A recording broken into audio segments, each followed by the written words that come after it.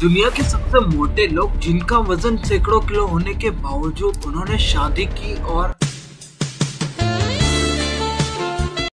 Third Mexico के manual इनका वज़न 597 किलोग्राम था। ये बेड पर ही पड़े रहते थे। इनने अपना डाइट प्लान 2001 में शुरू करा और 2012 तक 180 किलोग्राम वज़न कम कर लिया था। और इसी बीच इन्होंने 2008 में क्लोडिया से शादी भी की थी, पर 2014 में इनकी डेथ हो गई थी। दूसरे, सऊदी के खालिद बिन मोहसिन, इनका वज़न 610 किलोग्राम था, जिस वजह से ये घर से भी नहीं निकल पाते थे। सऊदी किंग को ये पता चला तो उन्होंने इनका ट्रीटमेंट कराया, जिससे खालिद ने 320 किलोग्राम वेट लूज किया और इनकी ज़िंदगी बदल गई पहले पे है अमेरिका के जॉन ब्रोवर इनकी बॉडी में एक्सेसिव फ्लूइड रिटेंशन होने के कारण इनका वज़न 635 किलोग्राम हो गया था। इसके बावजूद जॉन ने जिनेट से शादी की और दो बच्चे भी पैदा किए। ज़्यादा वेट के चलते इन्होंने 1978 में ट्रीटमेंट लिया और 490 किलोग्राम वेट लूज भी किया। पर उनकी हेल्थ कंडीशन और लिमिटेड मोबिलिटी के कारण 1983 में 41 साल की उम्र में उनकी डेथ हो गई।